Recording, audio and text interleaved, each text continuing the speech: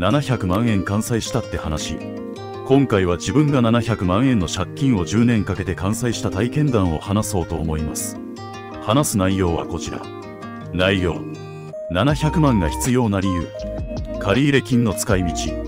借入金と借金返済。アドバイスまとめ。このようにまとめて話していこうと思います。では、よろしくお願いします。1、700万円が必要な理由。まずこの700万円は独立開業資金です。分野は整骨院。開業資金に700万円の借金をしました。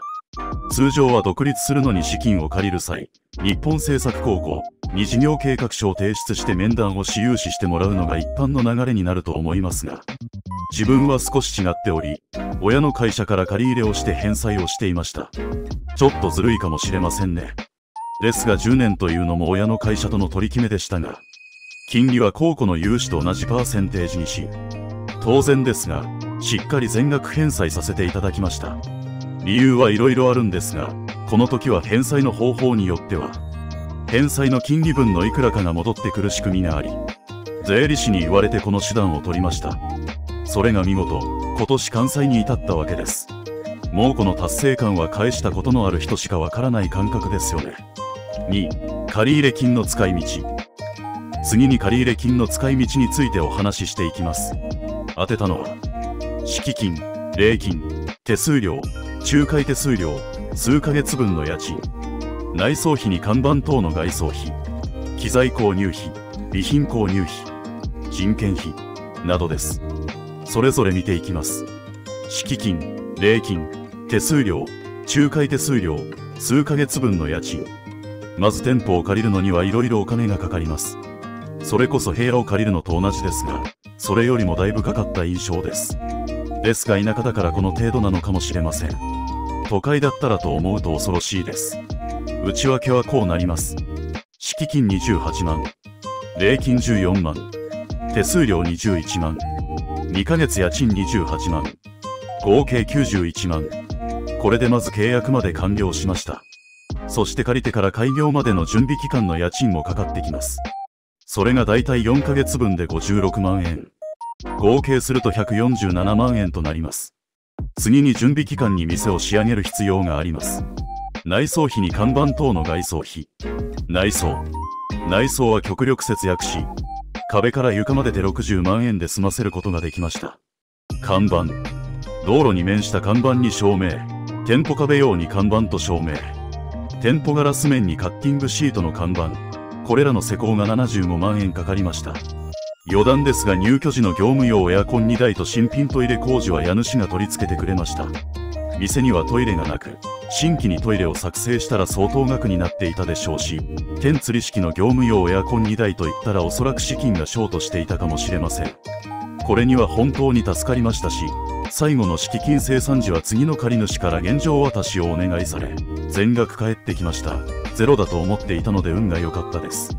機材購入費、備品購入費。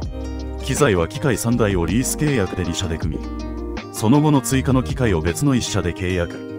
5万2000円、3万6500円、4万5800円の3社となりました。これに店の電灯を当時まだ高かった LED 電灯に変更。今の付け替えるだけで電気がつくものではなく、中の部品も交換しなければならなく、20個以上の電灯を LED にするのに70万円ほどかかりました。これはローンを組んで毎月1万4500円で48回払いで返済しました。合計すると機材購入費とリース代は毎月14万8800円となります。その他、備品購入費、タオルにスリッパ、テーブル、収納棚、ソファやテーピングやら洗濯機に冷蔵庫にパソコンともろもろ含めてざっと100万円以上はかかったと思います。開業までに400万弱ほどかかっていると思います。700万円のうち、もう半分以上がなくなってしまい、この時残りの借入金は300万円以下になっていました。人件費。そして無事にオープンすると絶対にかかってくるものが人件費です。同年代の従業員1人に27歳の時から固定給27万円出す場合、毎月平均32万円ほどを出し、パート従業員で8万程度出費がありました。なので毎月の人件費は40万円です。これをオープンして軌道に乗るまで、残りの借入金と売上から賄わなければならないのです。どうです？700万円も借りてあっという間に消えてしまいますよね。だから事業を2年以上続けるのは大変なことなんです。3借入金と借金返済。実は借入金はこれだけじゃ済みませんでした。経営難が2度あり追加で借り入れをしなければならなかったのです。1度目の経営難。店の規模に対して固定費人件費が多すぎ毎月20万円以上の赤字が続いてしまいました。自分の実力不足と資金管理危機管理がなっていませんでした。3年目と4年目に500万円ずつ追加借り入れしそれでも厳しかったため人件費を削減しそれ以降は一人で事業を継続することになりました。そして5年目に残高は微減が続いていたが大きく減ることもなく口座残高を維持しながらリース契約にも目処が立ちさらなる固定費削減のために店舗兼住宅を建設し移転計画を立てられるところまで来ます。この時借入金の総額はおよそ1400万円超え。そこにさらに住宅ローンを増やそうという。今考えても結構無謀にも思える状況でしたがそれ以降はウッドショックやコロナ流行などでそんなことは考えられない状況に陥ったはず。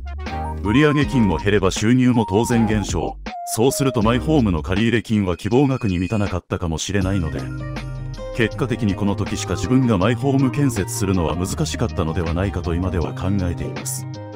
2度目はコロナによる経営難。猛威を振るったコロナウイルス感染。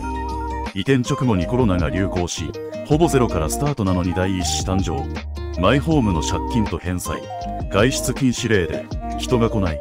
という絶望的な状況で窮地に追いやられてしまいました。本当にこの時は現状をどうすれば乗り切れるのか生まれたばかりの子供と家族を抱えこの鮮度うなるかと毎日頭を抱えていました。事業資金を返しつつ固定費削減のために店舗兼住宅にする作戦もコロナとかぶってしまうのはとんでもなく痛かったが計画していたリースの終了時期となりなんとか乗り切ることができましたがここで新型コロナの影響でバンバン融資をしまくっていた銀行や政府のおかげでさらに追加で融資300万を受けました。この時の借入金総額は1500万弱とマイホームの3000万円になっていたと思います。借金返済。そしてコロナもどうにかこうにか乗り切ることができ。個人事業10年目の今年。最初に借入れした700万を無事完済他の返済も着実に返済を進め500万円ずつに買い借りトータル1000万の借入金は残り520万に減少。コロナで借り入れした追加融資300万は着実に返済し続けて残り100万ほどになった昨年。銀行から借り換えも可能と提案され再び逆戻り。現在は240万ほどになっています。この2件の返済が終了するのが令和12年7月。合わせて12万ほどが浮くことになるため自分は6年後の7月が楽しみでなりません。この頃にはマイホームの外交工事で別途契約したローン残高200万円を完済。毎月返済3万4000円令和9年4月に終了予定。さらに先月契約した治療機器のローンも終了。毎月返済3万円。令和12年10月終了予定。あと6年耐えれば毎月の固定費が18万4000円削減できることになるのです。つまり手取りが18万円上がる。その頃には子供もあと数年で中学生ということになり子供に回せるお金が増やすことができます。本当に無駄さえ省けばあと6年で相当身が軽くなるはずです。4アドバイス。ここまでご視聴いただきありがとうございました。こんな借金まみれの自分から言うのはどうかと思う方が大半だと思いますが個人的に借り入れをしまくっているから言えるアドバイスを何点かさせてもらい、今回の動画は終了とさせていただこうと思います。伝えたいのは2点。事前に運転に必要な最低資金の計算、陥りそうなリスク、その時に確保しておきたい資金まで考えておく。